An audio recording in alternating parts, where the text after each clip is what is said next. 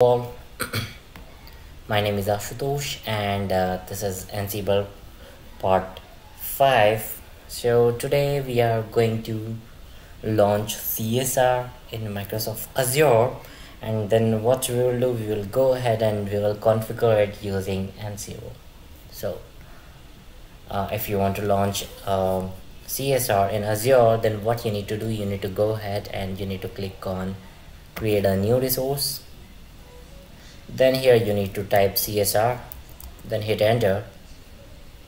Here you will get multiple CSR with you. So uh, let's use the top one CSR 1000V and it is 16 point whatever the version is okay? So you, you need to choose the correct uh, version according to your requirement. So let's click on create. So uh, here we need to put the name of or virtual machine so let's name it csr we i need to put my username. So let's use cisco 1234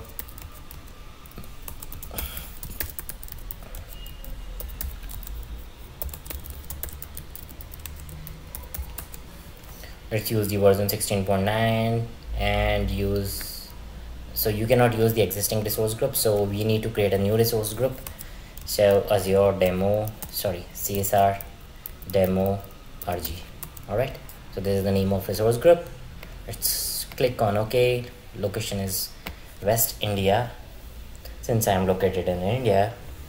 And uh, how many interfaces do you want to use? So if you will see over here the ds2 version 2 is being used over here. So v2 means the 2 vcpu if I change the number of interfaces to 4 then this version will change. So it's one standard DS3 V2 which has 4 CPU vCPU and 40 14 gig of RAM. So for this particular lab environment we don't need 4 interfaces. We will use the lowest one. Manage disk enabled okay? Then uh, custom data it is set to default. Availability set yes. Uh, the router will be in uh, availability set. Uh, if you are not aware about the availability set then uh, please go ahead and have a look on my uh, video of the availability set. Uh, so basically um, the availability set uh, you can say it is just like a virtual I'm saying it is just like a, a, your data is placed into different data center which are in two different flood zone kind of scenario. The next one next one is update domain. So uh, update update domain is uh, chosen as 20 so uh, regarding the update domain i cannot explain you but if you want to have more detail then you can have look over here. Uh, so let me tell you what is the update domain.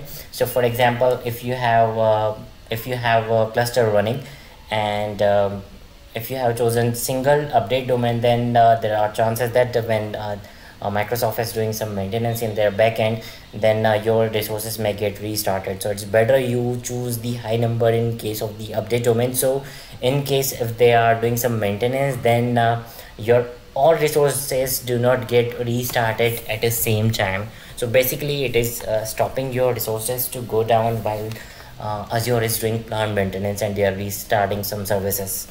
Okay, so let's go ahead and uh, use the default storage account right? Uh, let, let's name it something else.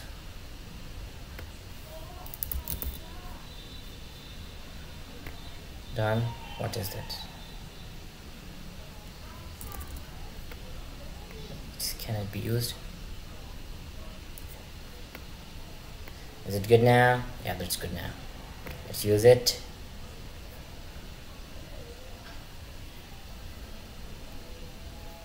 the public IP then uh, let's use new virtual network new subnet everything we are using new. We we can uh, choose the different the uh, the pre-configured one if you have any pre-configured one but i'm not using the pre-configured one i'm choosing a new one. So uh, it's just going to do, do a validation in the background. Uh, the validation will include whether you are subscribed to use this much resources for example uh, the free trial is uh, uh, eligible for at least 4 or maximum 4 vcpu if i'm using a resource which contains 8 vcpu then this uh, validation will fail. Oh good. We have a validation field right now. So it says um, the operation result in exceeded maximum quota limit of the core. The maximum allowed is 4 and currently in use 3 so that's the trouble. I need to delete something now uh, let me go back. If i can run it with the single. No that's not possible. So let me pause this video and I will need to shut down uh, one uh, instance of mine and then uh, we'll come back and I will retry it.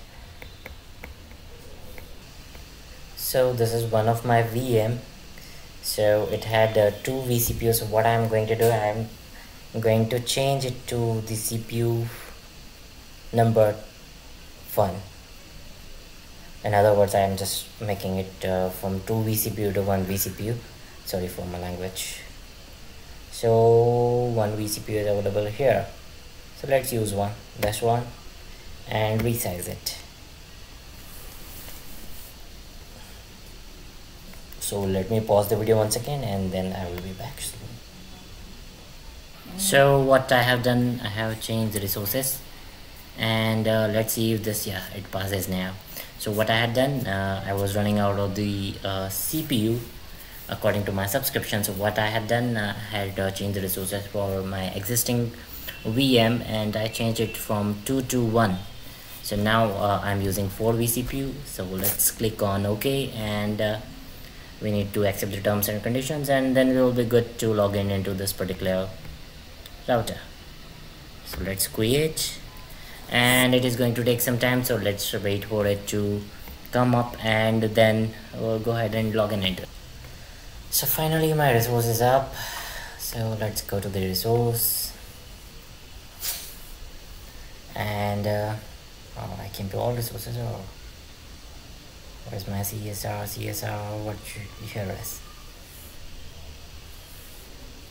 let's click on create sorry connect.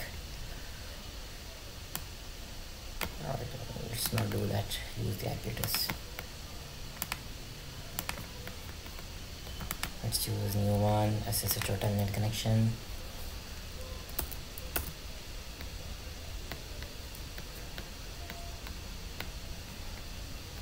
Come on what are you doing?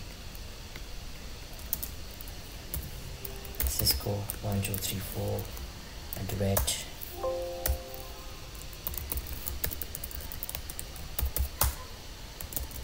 so finally we are up in this particular box. And in next video what we will do we will go ahead and uh, we will start with a simple ping command or we will log into the device and um, put show version command. So thanks for watching our video. Please subscribe to our channel. Thank you